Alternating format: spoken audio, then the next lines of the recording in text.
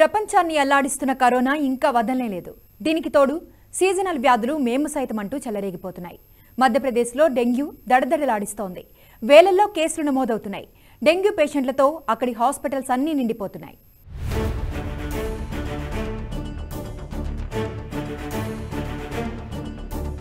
ఇంకా కరోనా పీడ తొలగనే లేదు దేశవ్యాప్తంగా కరోనా కేసులు ఏదో ఒక మూల పెరుగుతూనే ఉన్నాయి. సందట్లో సడైమియా అన్నట్లు అప్పుడే డెంగ్యూ దడ మొదలైంది. మధ్యప్రదేశ్లో వేల సంఖ్యలో నమోదవుతున్న డెంగ్యూ కేసులు జనాన్ని భయపెడుతున్నాయి. డెంగ్యూ జ్వరాలతో జనం అల్లాడుతున్నారు. రాష్ట్ర వ్యాప్తంగా డెంగ్యూ కేసులు భారీగా నమోదవుతున్నాయి. ఆసుపత్రులన్నీ డెంగ్యూ బాధితులతో నిండిపోతున్నాయి.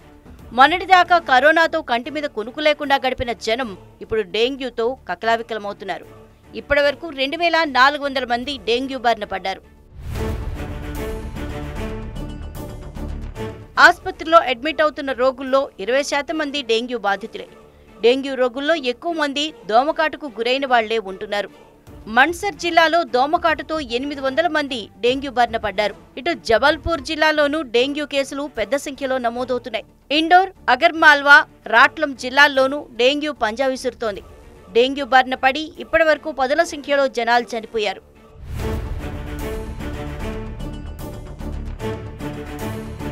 డెంగ్యూ కేసుల పెరుగుదలతో అప్రమత్తమైన మధ్యప్రదేశ్ ప్రభుత్వం దోమల నివారణ చర్యల్ని చేపడుతోంది.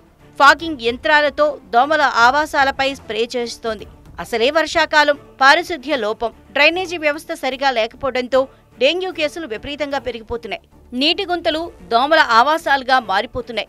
దీనిపై దృష్టి సారించిన మధ్యప్రదేశ్ ప్రభుత్వం గ్రామీణ ప్రాంతాల్లో పారిశుద్ధ్యానికి పెద్దపీట వేస్తోంది.